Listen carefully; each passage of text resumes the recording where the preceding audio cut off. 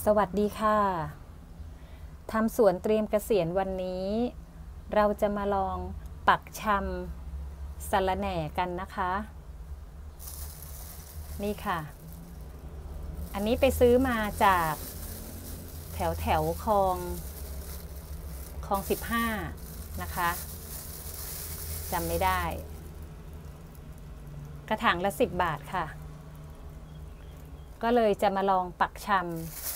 โดยใช้ปุ๋ย AB นะคะ ปุ๋ยน้ำ AB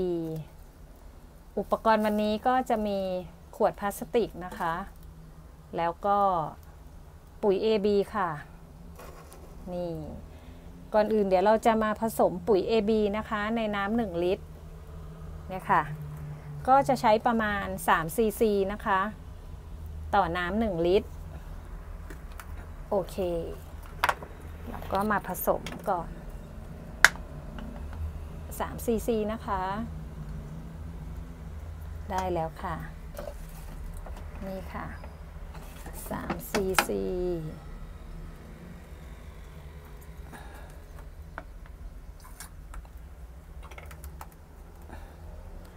แล้วก็อันนี้เราจะล้างทำความสะอาดก่อนค่ะ แล้วก็เขย่า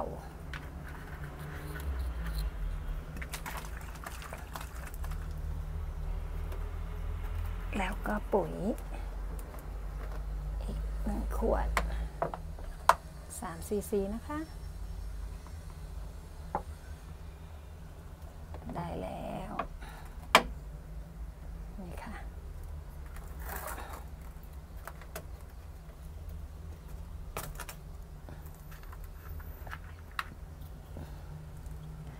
สะระแหน่เนี่ย จากการหาข้อมูลนะคะ เขาก็จะชอบแดดลำไรถึงแดดจัด เดี๋ยวเราก็จะมาลองปักชำใส่ในน้ำปุ๋ย AB แล้วก็วางไว้ริมหน้าต่างคอนโด ซึ่งบริเวณหน้าต่างคอนโดเนี่ย จะโดนแดดวันละไม่กี่ชั่วโมงเองนะคะ อาจจะไม่ถึง 3 ชั่วโมงด้วยซ้ำ โอเค อันนี้เราเตรียมน้ำปุ๋ยเรียบร้อยแล้วนะคะ น้ำที่ผสมปุ๋ย ต่อไป นอกจากขวดพลาสติกแล้วเราจะต้องใช้ฟองน้ำด้วยนะคะ ใช้ฟองน้ำโอเคค่ะ เดี๋ยวเราก็มาทำการตัดขวด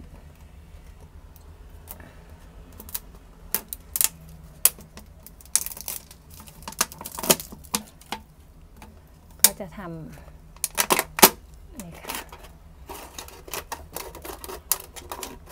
ก็ใช้ภาชนะที่เหลือใช้นะคะ ไม่ต้องไปหาซื้อ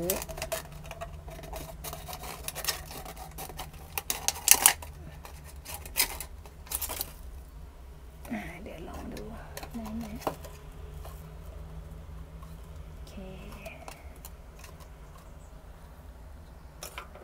เดี๋ยวข ออนุญาตปรับมุมกล้องแป๊บหนึ่งนะคะ โอเคค่ะ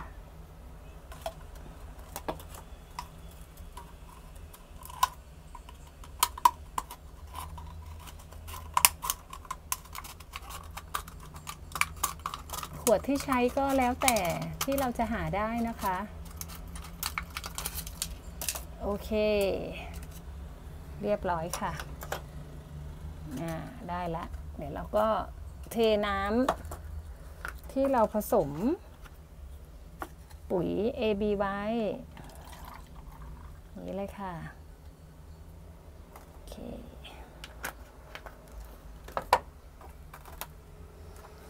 แล้วเดี๋ยวเราจะมาเลือกกิ่ง กิ่งของสาระแหน่นะคะ เอากิ่งไหนดีนะ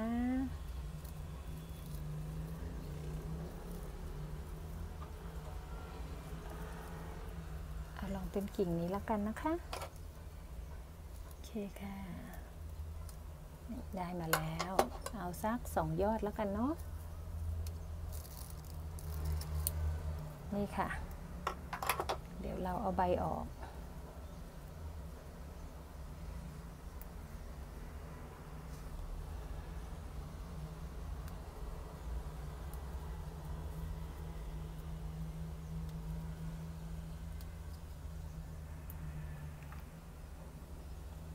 สองกิ่งค่ะ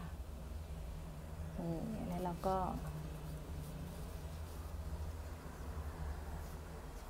เอาฟองน้ำใส่ในฟองน้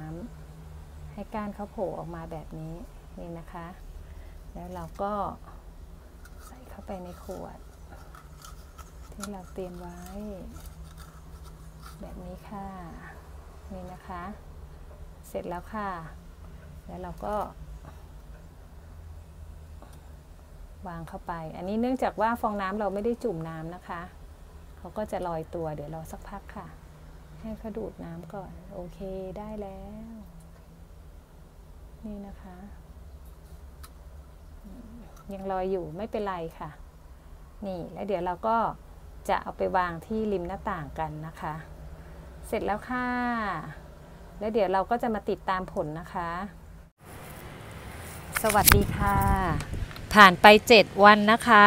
เราก็จะมาดูสารแหน่ที่เราปักชำกันไว้ค่ะ มาดูกันเลย นี่นะคะ นี่ไง รากงอกออกมายาวมากมากเลย นี่นะคะโอเควางไว้ที่ริมหน้าต่างค่ะ โอ้โห รากงอกจริงด้วย ไม่ค่อยชัด นี่นะคะอะไปดูอีกอันนึง นี่เลย เห็นไหมคะ มองเห็นไหมคะ นี่ค่ะเจ็ดวันนะคะ วันนี้เจ็ดวันแล้วค่ะ ก็ลองทำดูแล้วก็มีรากงอกออกมาจริงนะคะ เย่ดีใจจังเลย เรียนรู้จาก YouTube นะคะ ก็สำเร็จไปอีกหนึ่งอย่างค่ะ เตรียมกเกษียณวันนี้นะคะ โอเค ขอบคุณนะคะ ขอบคุณสำหรับการติดตามชมและฝากกดติดตามนะคะ ช่องด้วยคุณครูปั่นปลูกค่ะ ก็ขอบคุณมาก ๆ นะคะ สวัสดีค่ะ